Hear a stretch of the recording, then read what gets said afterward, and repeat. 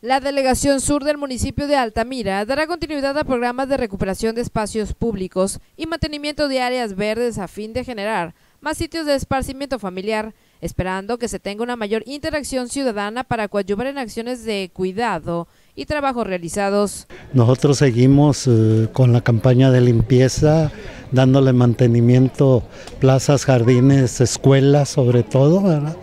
Y ustedes pueden constatarlo visitando estos lugares donde hemos eh, seguido, ¿verdad? dándoles mantenimiento y siempre exhortando a la gente que nos ayude con la limpieza, con, este, con la basura sobre todo.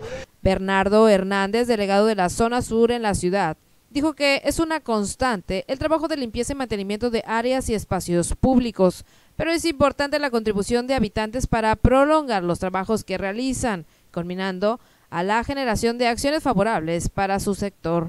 Y hemos tenido este muy poco impacto en cuestión de los basureros clandestinos, ¿verdad?